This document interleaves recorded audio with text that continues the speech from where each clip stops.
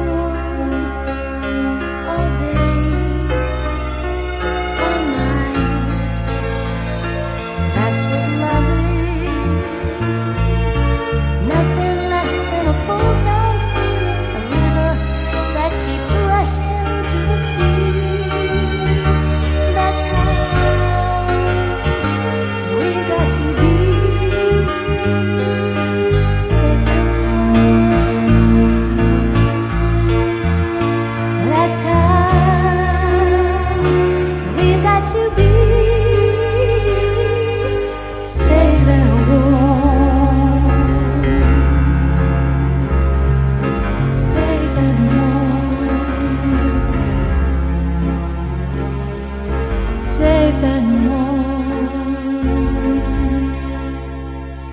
That's how we've got to be.